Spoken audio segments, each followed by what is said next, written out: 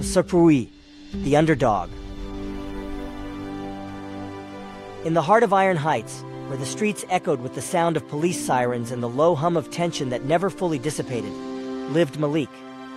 He was a wiry kid, small for his age, with deep brown skin and a mop of unruly curls that framed his face.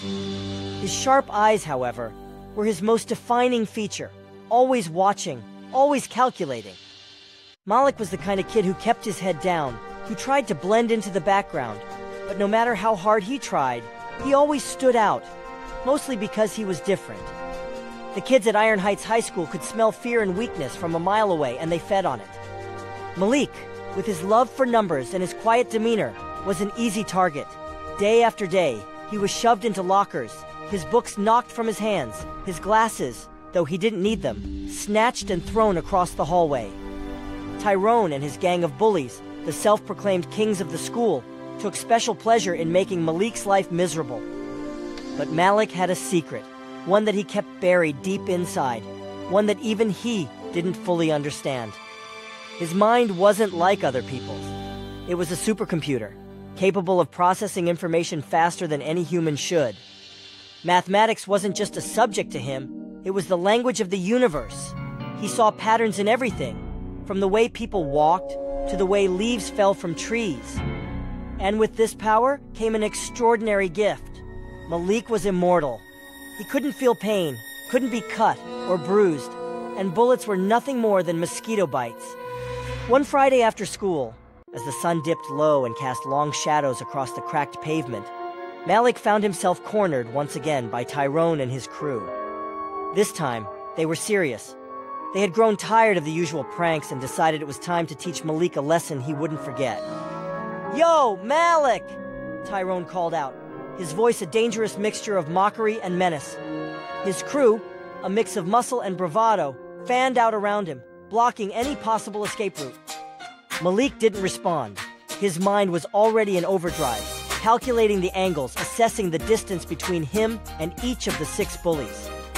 He could see the tension in their muscles, the slight twitch in Tyrone's eye that betrayed his intent. Tyrone stepped forward, cracking his knuckles. You've been a pain in our ass for too long, nerd. Time for you to learn your place. As Tyrone lunged at him, Malik's body moved on instinct, guided by the equations flashing in his mind. He sidestepped with a grace that belied his small frame, and Tyrone's fist swung through empty air. Before Tyrone could recover, Malik struck, driving a precise blow to a pressure point in Tyrone's arm. The bigger boy yelped in pain, his arm going limp. The rest of the gang didn't wait.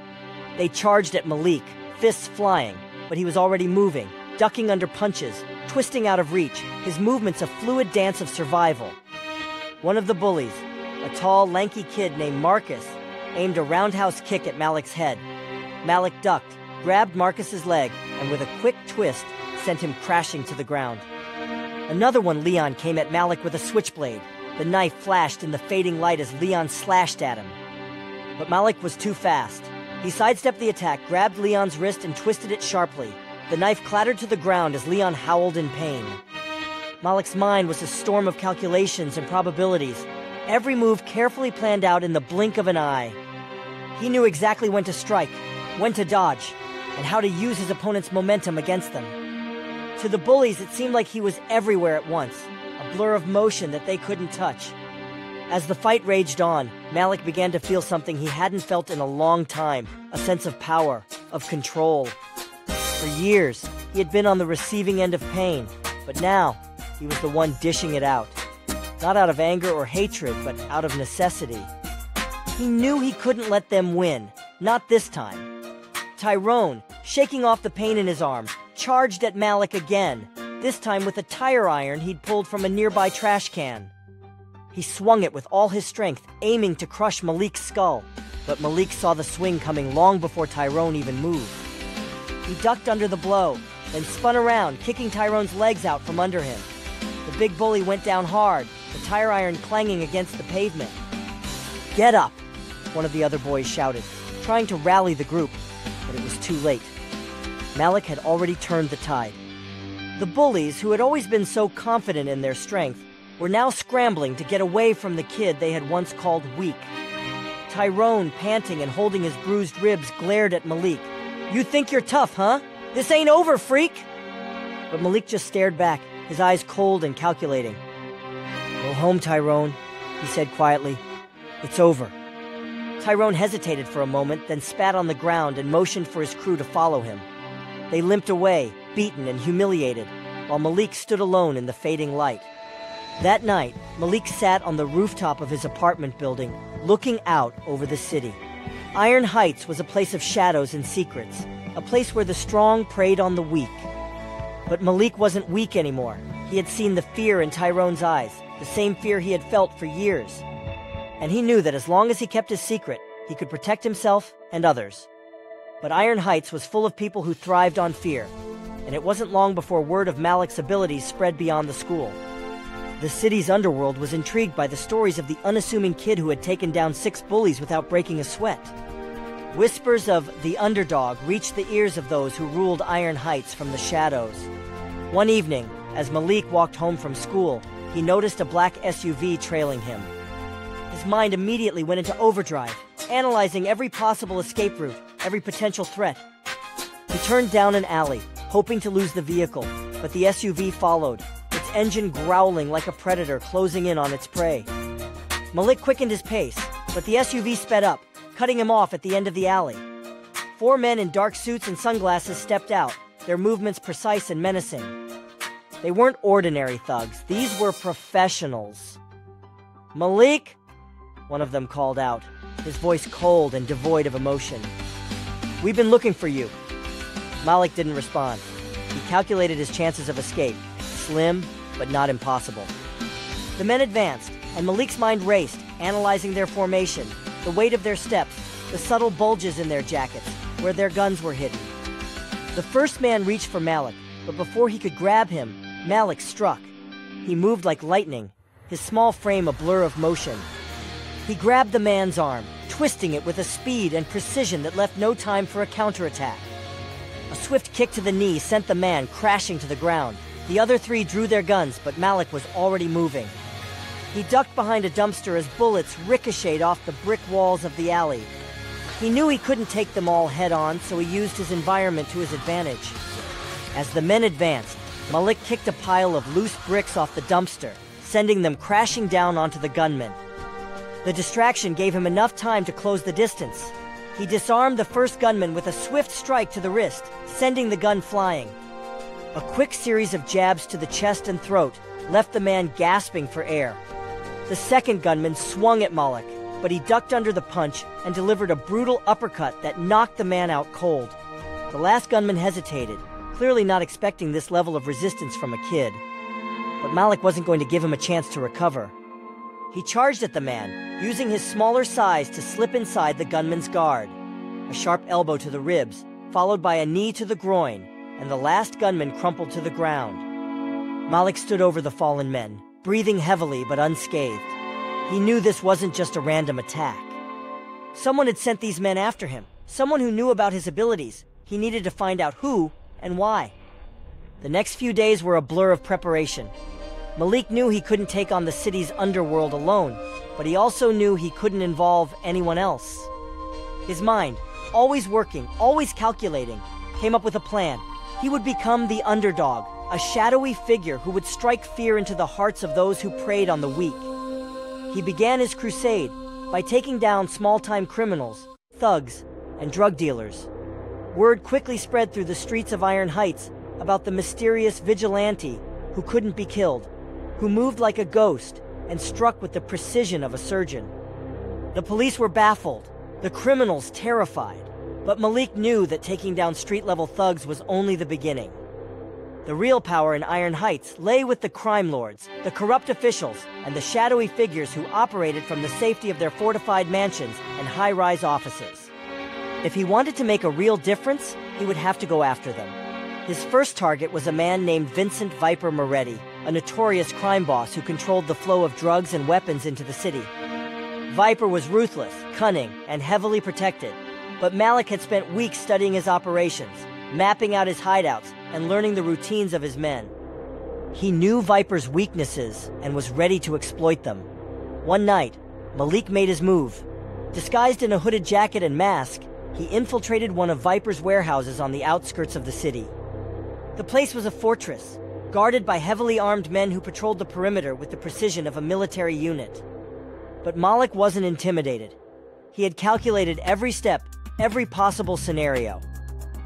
As he slipped past the guards, Malik's mind worked at lightning speed, processing information, analyzing the layout of the warehouse, and predicting the movements of his enemies. He planted small makeshift explosives at key points around the building, just enough to cause chaos without killing anyone. Then, with everything in place, he triggered the first explosion. The warehouse erupted in chaos.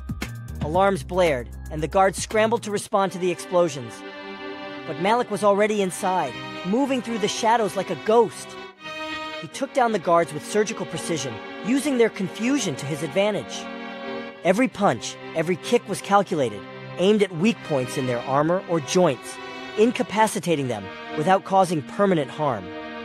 As Malik made his way deeper into the warehouse, he encountered heavier resistance. Viper's elite guards, mercenaries hired from private military companies, were no ordinary thugs. They were trained, disciplined, and well equipped, but Malik had one advantage they didn't. He could see the fight before it even started. The first mercenary, a hulking figure with a scarred face, charged at Malik with a combat knife. Malik dodged the initial strike, grabbing the mercenary's arm and twisting it with a force that disarmed him instantly. A quick jab to the throat, and the man went down gasping for air. Malik then used the fallen mercenary's own weapon to disarm and disable two more who rushed him from the side. Bullets flew past him as two more mercenaries opened fire from behind a stack of crates. But Malik had already anticipated their positions. He rolled to the side, ducking behind cover as the crates exploded into splinters. With quick, calculated movements, he threw a smoke bomb into their midst, disorienting them. In the cover of the smoke, he moved silently, taking them out with a series of precise strikes. Finally, Malik reached the heart of the warehouse, the control room where Viper himself was waiting. The crime boss was flanked by his most loyal enforcers, men who had fought in wars and survived. But even they looked uneasy as Malik entered the room, his mask hiding any trace of emotion. You've got guts, kid! Viper sneered, his voice dripping with venom. But you've made a big mistake coming here! This is my city! Malik didn't respond. He simply calculated the odds the distance between himself and each of the enforcers, the position of their weapons, the look in their eyes. Then he struck. The fight was brutal, a blur of fists, kicks, and gunfire. Viper's enforcers were skilled, but they were no match for Malik's speed and precision. He moved like a force of nature, dodging bullets, disarming guns, and taking down each enforcer with a series of calculated blows that left them crumpled on the floor.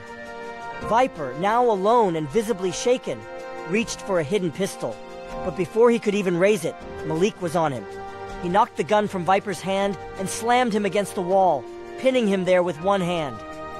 You think you're untouchable, huh? Viper spat, trying to sound defiant despite the fear in his eyes. You're just a kid. What are you gonna do? Kill me? Malik stared at Viper, his mind calculating a thousand scenarios in an instant. Killing Viper would be easy. Too easy. But Malik knew that taking a life wasn't the answer. He wasn't a murderer, he was something more. He wanted to send a message, not just to Viper, but to everyone in Iron Heights who thought they could prey on the weak. No, Malik said quietly, his voice calm and controlled. I'm going to make sure you can't hurt anyone ever again. With that, Malik delivered a series of precise strikes to Viper's pressure points, leaving him paralyzed but alive. The crime boss slumped to the floor, helpless, as Malik stood over him. This is my city now, Malik said, his voice cold and final. And I'm taking it back. Malik left Viper there, alive but broken, knowing that the crime boss would never pose a threat again. As he walked out of the warehouse, he knew that this was just the beginning. There were others like Viper in Iron Heights, men and women who thought they were above the law who thought they could do whatever they wanted without consequence. But they were wrong. Malik had been the underdog for too long, but now he was in control. He would use his powers, his mind, his immortality, his ability to feel no pain, not for revenge, but for justice. He would become the shadow that the criminals feared, the protector that the innocent needed. Iron Heights would never be the same. The underdog had risen, and nothing could stop him.